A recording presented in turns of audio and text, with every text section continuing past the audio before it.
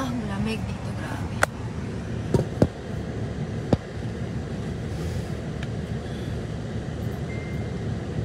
Pag umandar yan, malamig. Oo. Ayan, so, nagiging emotional, ag- emotional, emotional agad ako. Kasi pagdating talaga, ay, iyak. Pagdating talaga sa mga taong malalapit sa akin. So,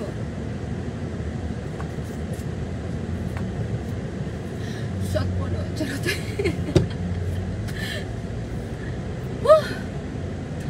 Na um, tawag dito, um, puro pangalan ko yung nadadrag ngayon. Hindi dahil may ginawa akong kagag- kagaguhan or ano. Pero, puro pangalan ko yung naririnig ko ngayon. Um, nakakasad lang kasi pa-shoutout muna. Teka lang. Um, kasi nagtiwala yun na siguro yung pinaka nakakasad.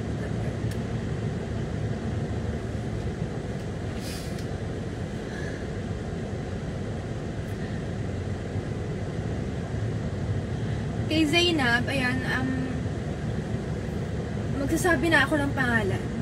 Um, Zainab, um, una naman talaga, hindi rin naman talaga kita ganun kagusto.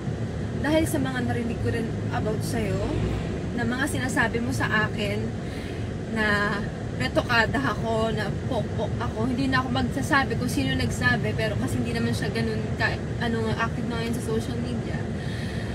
Ah, yun yung mga sinabi mo sa akin. May time na dapat kukomprontahin, kukomprontahin kita. Kaso, hindi tayo nagkatagpo nun. Kaya, hindi ko na nasabi sa'yo. Pero, totoo, aminin ko, hindi talaga okay yung loob ko nun during that time.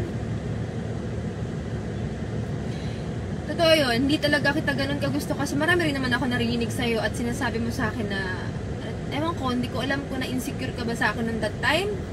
Ito, to- ano na lang tayo dito, I mean, matagal na to, parang 3 years ago pa to, I mean, 3 or 4 years, na- nag-start ka lang mag-vlog nun. Ako naman, nasa social media na ako that time. So, aaminin ko, may, hindi ko sabi na sobrang hindi kita gusto. I mean, hindi malapit ang loob ko sa'yo dahil sa mga narinig ko about about you. Dahil yung nagsabi nun is mga kakilala mo din. Malapit din sa'yo yun. I mean, nagkakasama kayo nun. After nun, wala namang narinig kahit, I mean, wala akong nasabi nun. I mean, doon ko lang na ano na, ah, ganun pala ugali niya.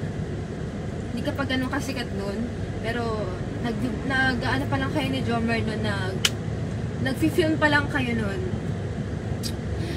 Then after nun, ayan, naging, sorry magulo ako magkwento. After nun, ayan na, um, maging nagkaibigan kami ni Angelica, ni La Angel, ayan, kami kami na Jenny, ni, ni MJ, pero wala ko para, I mean, siraan ka or pag-usapan ka kasi hindi naman nga kita ganun ka-close. Ang sinabi ko lang sa kanila is, sinasabihan ako niya na po ako retokado ako, which is hindi naman po ako. Hindi po ako retokada, opo, nagpapabotox ako pero hindi ako retokada.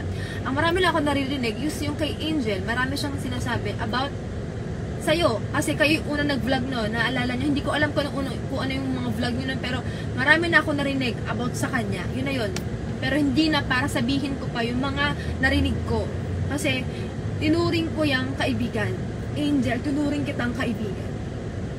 Kahit yung pinaka-dark or deep secret mo, hindi ko yan sasabihin ngayon.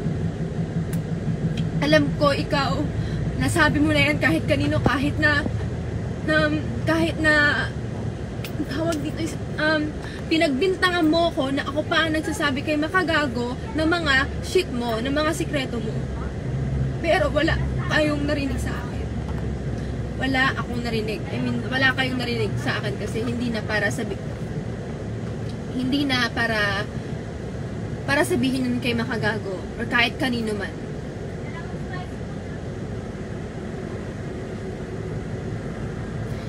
ayun lang, kaya nagtataka kayo kung bakit hindi na kami nag-vlog kasi kinat ko na, ayoko na ng toxic. Kinat ko na yan, kinat ko na sila Angel, kinat ko na kung sino man yung core ko doon.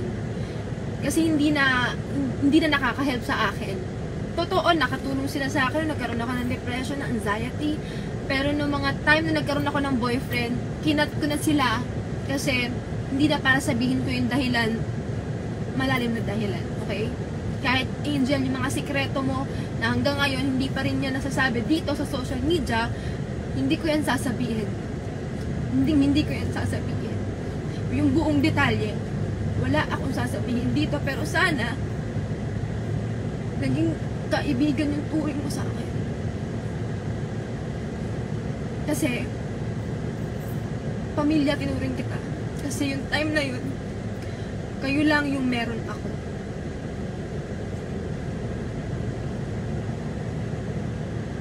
Nasasaktan lang ako kasi hindi ko ina-expect na magagawa nyo sa akin. Hindi, hindi ko ma-expect na gagawin nyo sa akin. Kapag tapos ng lahat, ang ina dumating din sa point na para dati na kailangan ko pang bayaran yung mga pang-grab nyo para may makausap lang ako.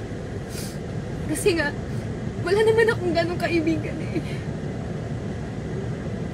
Hindi naman ako talaga, I mean, pala kaibigan, hindi ako pala salita na pagkakamalian na ako na mataray ako kasi hindi ako basta-basta nagtitiwala pero sa inyo nagtiwala ako.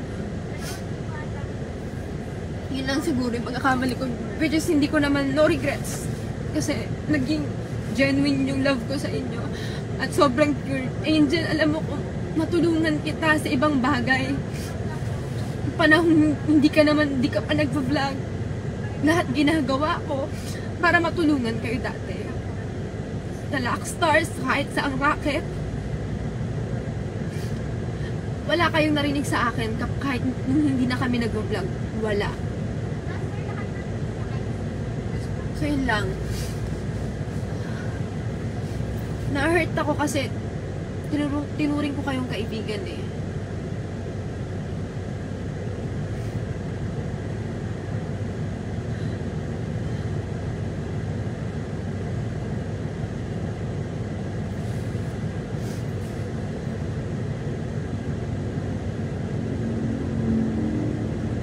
Si Zainab, eh wala naman talaga akong pakialam kasi hindi naman kami naging magkaibigan talaga. Wala talaga. Ngayon, yung sinasabi niyang anong mapapala sa akin, I mean, pero tinry ko, in-approach ko siya dahil friend sila ni Ma'am si Wilbert kasi yun yung mga kaibigan ng, ng, ng friend ko. Gusto ko na rin maging kaibigan. Tinry, sabi ko kay Ma'am si Ma'am si sabi mo na rin kay Zainab, baka pwede kaming mag-collab. Yun nga yung sinabi niya sa akin recently lang na ano nga bang mapapala sa akin. Just nakaka-hurt siya. Pero totoo naman, ano bang mapapala mo nga sa akin? Dahil wala naman akong 10 million followers sa YouTube.